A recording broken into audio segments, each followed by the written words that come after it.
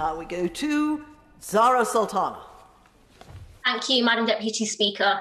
When I challenged the Minister on the disproportionate impact of COVID 19 on Black and minority ethnic groups after the first wave of the virus, the Minister denied that systemic injustice was to blame. This new report shows that in the second wave, Bangladeshi and Pakistani people were three times more likely to die from COVID, and that Black and minority ethnic communities as a whole are still significantly disproportionately in critical care with it. Does the minister now acknowledge that it is systemic injustice that Black and minority ethnic communities face, from higher rates of poverty and overcrowded housing to higher rates of frontline work and barriers to accessing healthcare? Uh, Madam Deputy Speaker, I think it's a really interesting question the Honourable Lady has asked.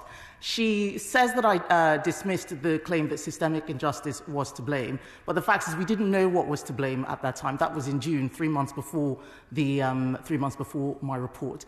And what we need to understand is what exactly we mean by systemic and structural. We have seen the data show that at some point ethnic minority gaps in terms of disproportionate impact completely disappeared. If these are structural issues, that is not what we would expect to see.